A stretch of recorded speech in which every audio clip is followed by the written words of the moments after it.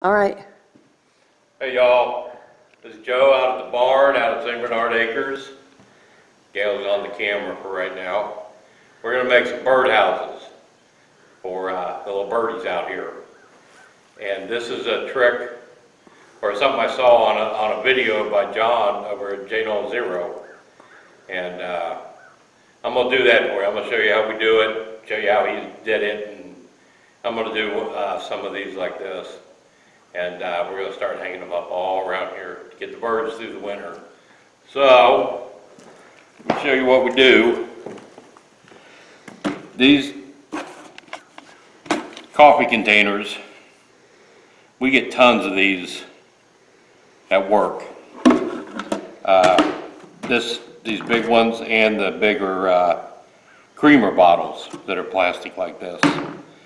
Uh, And I'm just gonna do a couple them here real quick to show you how I do it.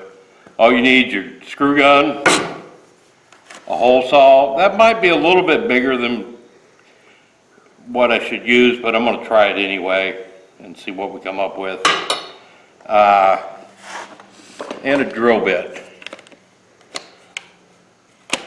See if I brought drill bits with me.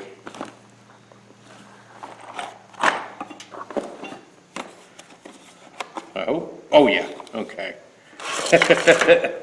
Uh, The idea is, the hole, you drill a little hole here to put a stick through, a, you know, a twig or whatever that the birds can land on. A hole under here for drainage, and then put it up to the tree and screw it into the tree and let it sit there. Uh, I know I'm moving it around, I shouldn't be. Uh, but I'm gonna make these, and then Gail's gonna paint them. Uh, and to show you how simple it is to make them, let me cut this one in first.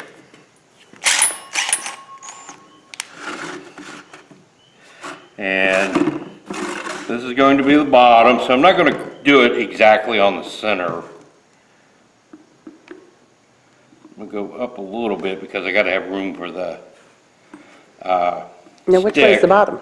the bottom's right here. Okay.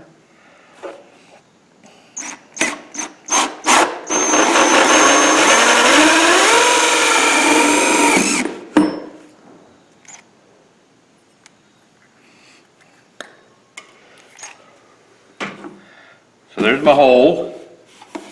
Well, actually, it didn't matter where the bottom was, because you can turn the top around, duh.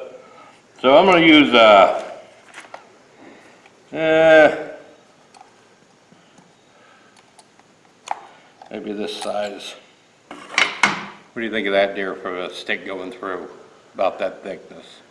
Yeah, you that'll think that's work. too small, or No, that'll be fine. should we get a little bit bigger twig? No, that'll be fine. Okay.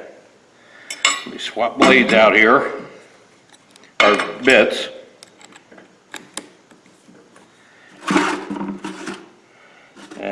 And I'm gonna drill one right here.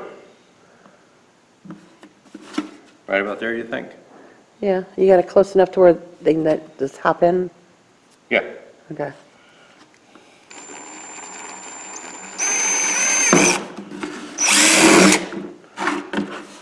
So, about like that. Yeah.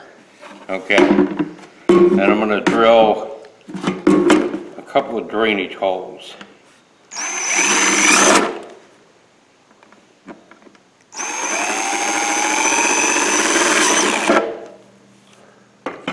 Now, what's cool about this, Gail has some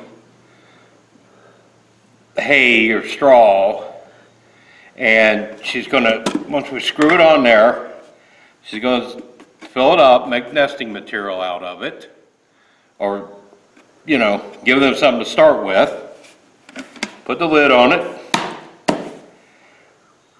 put the stick in it, and let it be.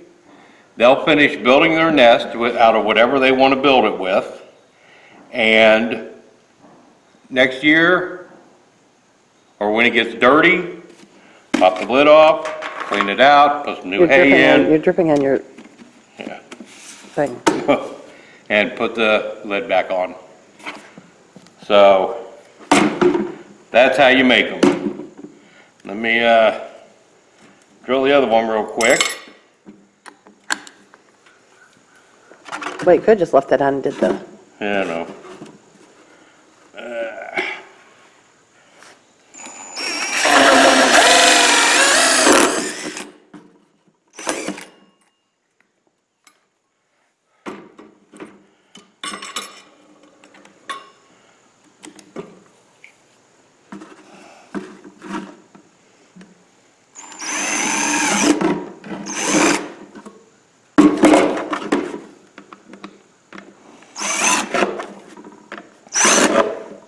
Now they're ready for Gail to paint.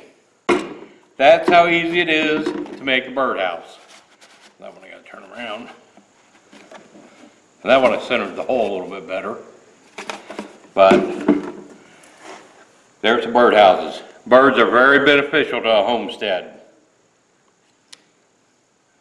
So that's why Gail's always filling up her suet containers and trying to take care of them.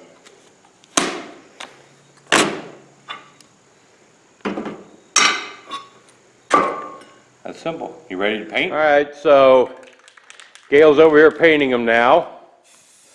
Using some of that metal that she complained about that I get. Uh, just a flat green color. But it's made from plastic. It's gonna be camouflaged. And it dries quick. All right.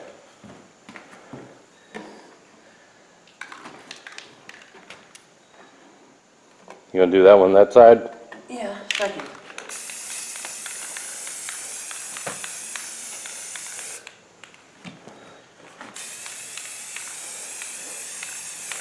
Nice and simple procedure. So next year, we'll probably have about 50 birdhouses out here.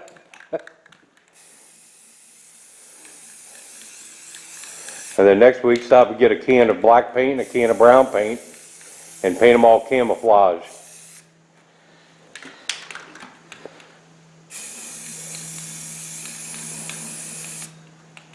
And the birdies will love it. All right. But that's how simple it is. Huh? Two, two times ultra cover? Doesn't look like it needs two times. No, no, Two times actual cover. Oh, two, hang on. That's what she used right there. All right. Okay, so that's done. Yep, now we just gotta find some twigs.